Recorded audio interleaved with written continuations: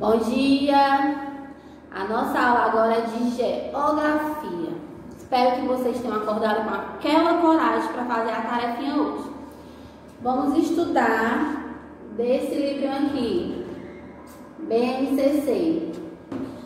As páginas 28, 29 e 30. Abram o livro de vocês da página 28. Abriram? Então vamos lá.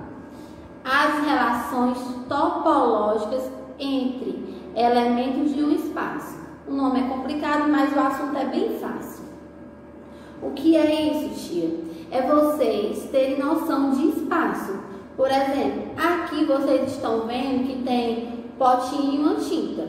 Tá aqui em cima da mesa. Eu sei mais ou menos a distância que está entre eu e um potinho. Então, eu, quando eu for mexer minhas mãos, se eu fizer assim, é porque eu não tenho essa noção, mas com vocês, eu também, nós já temos essa noção do que está no nosso ambiente. Quando vocês vão andar na sala, vocês veem as cadeiras, geralmente ninguém se taca nas cadeiras, porque nós estamos vendo a cadeira e nós já aprendemos a desviar daqueles elementos.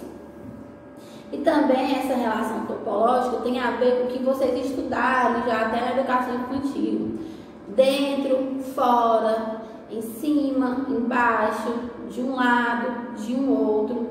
Aqui na página 28 diz assim: a todo instante nos relacionamos em um mesmo espaço com diferentes pessoas e objetos e percebemos que as crianças estão dentro da sala. Olha aí a imagem. O lixo está fora do cesto.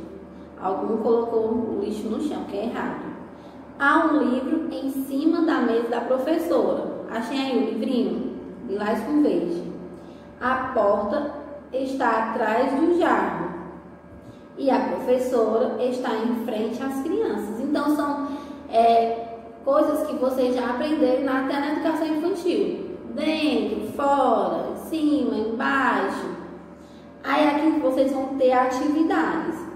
Na primeira questão tem assim, Observe a cena e circule as crianças que estão em frente à árvore. Aí vocês estão vendo a árvore e vocês vão circular as crianças que estão em frente à árvore. No caso, serão essas duas meninas aqui, porque tem uma ao lado e tem duas atrás. Então, essas duas estão em frente à árvore. Na segunda questão, diz assim: desenhe várias flores dentro dos vasos. Vocês vão desenhar a florzinha dentro, aqui dentro. Não é para desenhar flor aqui ao redor, não. Dentro do vaso. Cheia quantas flores, tanto que quiser. Qual cor? A cor que você quiser também. Na terceira questão, fala assim: qual a cor do gato que está em cima da árvore? Aqui vocês veem que tem dois gatinhos. Aqui, outro aqui. Esse gatinho está em cima e esse aqui está em baixo. Então, qual é a cor do que está em cima? Branco. E você vai escrever aqui branco. B-R-A-N-C-O. Branco. Fácil, né? Essa atividade.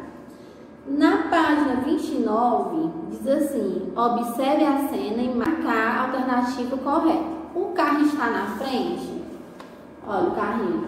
O carro está atrás. O carro está ao lado ou o carro está em cima? Então, vocês observarem a cena, ele não está na frente, nem está atrás, não nem para ver atrás, nem está em cima. Então, ele está ao lado. Aí vocês vão marcar X, onde fala que está ao lado. Na quinta questão diz assim: observe a cena a seguir e faça o que se pede. Vocês estão vendo uma cena. Marque o X no carro que está ao lado do poste. Então, vocês vão marcar o X nesse carro. Ah, tinha aqui tem outro carro, mas ele não está ao lado do poste, é esse. Pinte a árvore que está atrás do banco da praça. Tá aqui o banco, bem aqui onde tem um gatinho, tem uma árvore atrás, aí vocês vão pintar.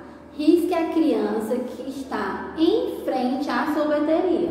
essa menina que está com a mãe dela. Vocês vão riscar ela. Circule o gato que está em cima do banco da praça. Vamos circular o gatinho. Fácil, né? Todo mundo fez essa aula essa tarefa com bastante facilidade. Na página 30, vai ter outro assunto que é a lateralidade esquerda e direita. Muitas pessoas têm dificuldade, até a chamar, às vezes sente dificuldade. Se eu tiver que pensar bem rápido, esquerda e direita, às vezes eu tenho uma dificuldade.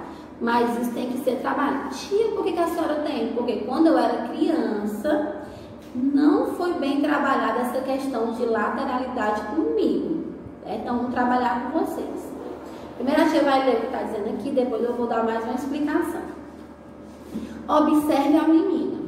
A menina está segurando a flor com a mão direita.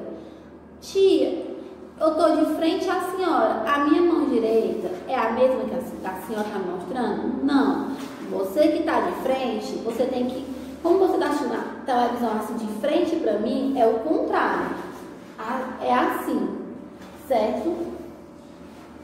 A, a está segurando a flor com a mão direita e a do livro com a mão esquerda. Você já deve saber com qual mão você escreve. Se é com a direita ou com a esquerda. A tia Marta escreve com a direita e a tia Lucilete também. As pessoas que escrevem com a mão direita, elas são chamadas destras. E a que escreve com a mão esquerda, elas são chamadas de canhotas. Então, quem escreve com a mão direita, destras. Quem escreve com a mão esquerda, canhotas, certo? Então, você que escreve com a mão direita, levanta a mãozinha direita. Repitam, destra. E quem escreve com a mão esquerda, levanta a mãozinha esquerda e diz canhota. Olha, a tia Marta tem aqui uma tinta e um pote. O que é que está na mão direita? na minha mão direita é o que? Quem falou tinta acertou. Na minha mão direita tem tinta, pote de tinta. E na minha mão esquerda tem um pote. Ah, tia, na sua mão direita não tem um anel e na sua mão esquerda tem anel. Por quê? Porque a, que a, todo, a gente, quando casa, usa o anel na mão esquerda. Às vezes, quando a tia Marta está andando muito rápido, tem que dobrar, esquece porque é direita e esquerda. Aí eu olho para minha mão, aí vejo o anel e sei que é a mão esquerda. Né? E, e, é muito importante saber ter noção boa de direita e esquerda se você quiser ser um motorista. Por quê? Porque quando você for dirigir, dobra a direita, dobra a esquerda.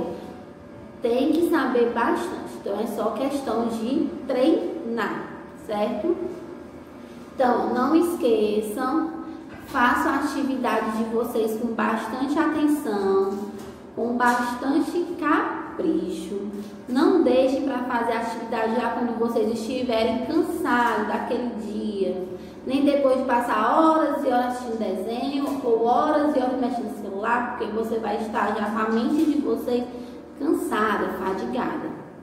Então, façam a atividade com capricho. Fiquem com Deus. Um beijão e até a próxima aula.